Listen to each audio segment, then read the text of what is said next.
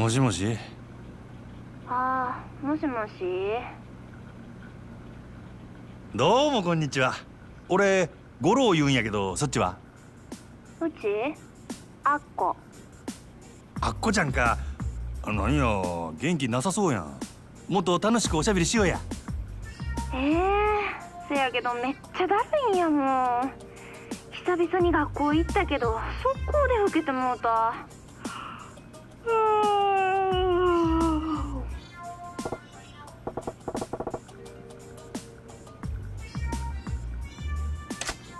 なんや自分。ひょっとして女子大生？うん。そうやけど。は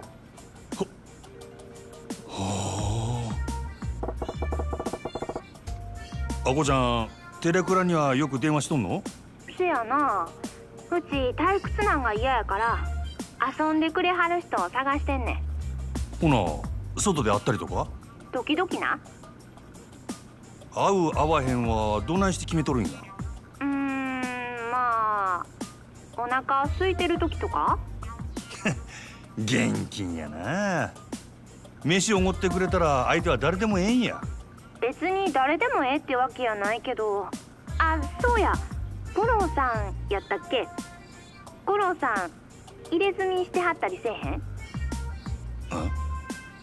入れ墨やと？うん。うちそういうのちょっと興味あんねん。しとる言うたらどないする？えほんまに？ほんまにしとるんやったらどんな柄なんか教えてくれへん？なんでそないなことが気になるんや？うち絵の勉強してんねん。せやけど入れ墨なんてめったに見られへんやん。せやからもし入れ墨しとる人がおったら実際に会うて生で見せてもらったりすんね般若や。んえ？俺の姓には般若が入っとるんや。般若か。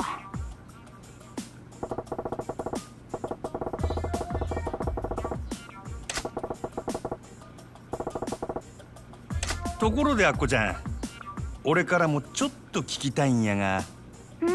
何？牧村誠って知っとるか？ごめん切るわちょっと待ってくれ。何？いやな。俺実はフリーのライターやっててな。牧村藩のこと興味あんねや。それで牧村藩を知ってる人から話聞きたいなあ思っててな。あこちゃん牧村藩のこと何か知っとるんか？せやったら超大手話聞かせてもらえへんやろうか。ああもちろん俺はするで。絶対あっこちゃんにも牧村藩にも迷惑かけへん。どうやろか？ほんまに？ほんまやほんま。わかった。せやったら今から岩尾橋に来て。岩尾橋やな。五郎さんはどんな格好してんの？グラサンに黒のジャケット髪や長髪を後ろで結んどる。目立つからすぐわかると思うな。今から岩尾橋で。待っとるで。絶対来てや。そしたら後で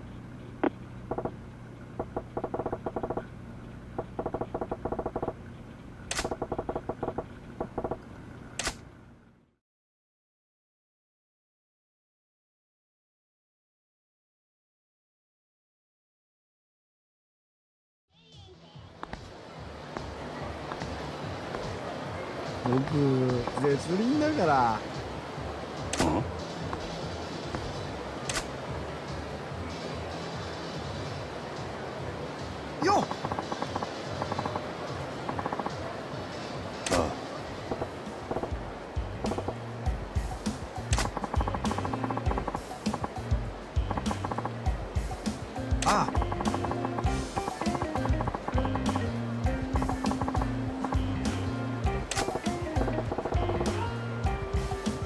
は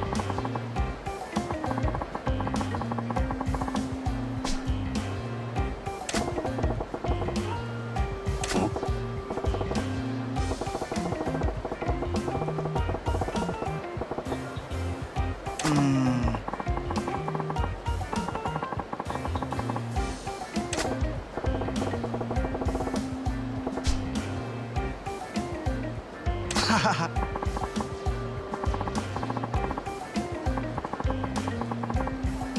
う